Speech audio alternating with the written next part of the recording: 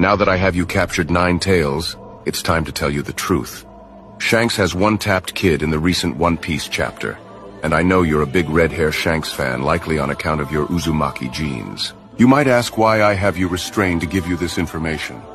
It's because unfortunately for you, Shanks defeated Kid with a flying slash. In other words, a sword technique. And like me and the rest of the Akatsuki have been telling you, this is simply more evidence that he is a swordsman. Which of course means he is Mihawk's inferior. Shanks is a Haki man. A Haki man? You mean a fighter who relies on Haki?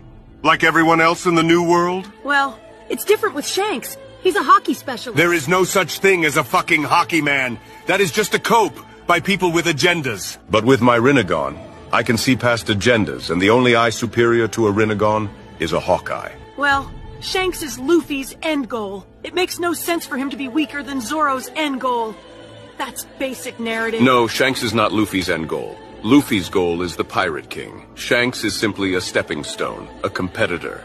Both Zoro and Luffy will be stronger than Mihawk at the end of the series, so I don't know why you seem to think this is a good argument. Anything else? Do you think Shanks might pull out a Haki Susanoo? Maybe a Haki Domain expansion? I have nothing to say to you. I doubt it. Thanks for watching this video. If you like this video, please like, share, comment and subscribe and click the bell icon to get my new video updates. Also check out my other videos too.